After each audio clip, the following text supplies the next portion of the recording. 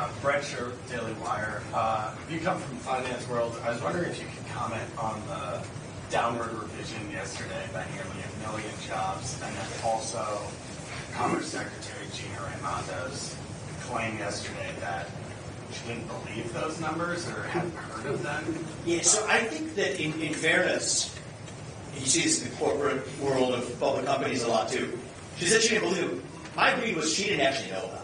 So I think Raimondo, the Commerce Secretary, as best I could tell from her commentary, you guys can probably see and arrive at the same judgment, did not know that we had had the largest downward revision of jobs in the United States in 15 years, in a decade and a half. And even she didn't know about it. So I said the people we elect to run the government aren't running the government.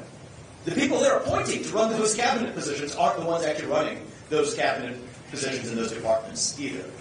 Now, let's talk about the substance of this. Many of us at the time said that these numbers don't seem credible. You talk to other companies, people in the business world, you don't hear about that pace of hiring to match up to the 819,000 or so jobs that were overstated. And yet now we see those numbers downward revised when you actually see the companies with state tax data and payroll data not matching up to the numbers they reported. And, and I do think that the same shoe fit the other foot. Right? I'm going to attribute this, where possible, to negligence rather than actual malfeasance. We'll always make the most charitable assumption, I think that that is the most charitable assumption you can make here. But I do think that there should be far greater accountability in the middle of an election, where Kamala Harris is the sitting vice president without a fully functioning U.S. president, let's be very honest, that in the middle of that campaign has rolled out not just like different opinions or not just fluff, but straight out wrong.